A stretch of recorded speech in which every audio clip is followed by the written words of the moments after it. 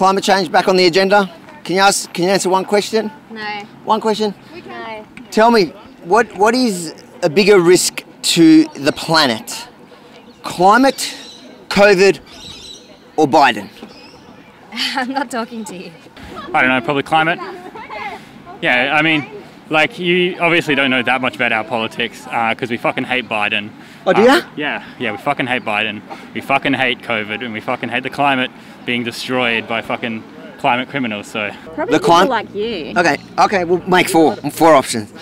The climate, COVID, or Joe Biden?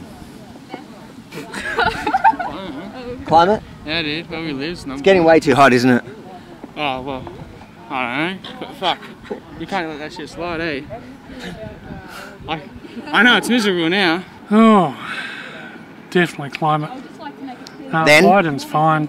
You like Biden? He's so much better than the previous. Climate, Yeah. COVID, Yeah. Biden, or we'll add me because you wanted to, or me. Um, probably climate. Yeah.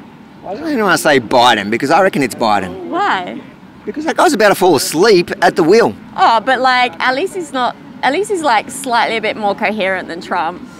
Trump's done four years and the I think planet's you're really still. charismatic. I actually like you a little I bit kind of like now. you, yeah. Yeah, yeah. I won. You don't like Trump? You've got to get rid of a trumpet. Why?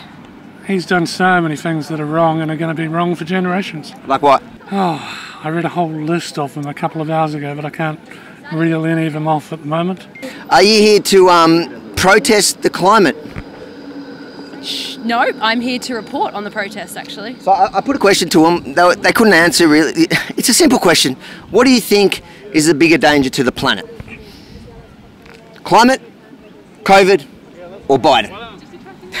Biden. Definitely.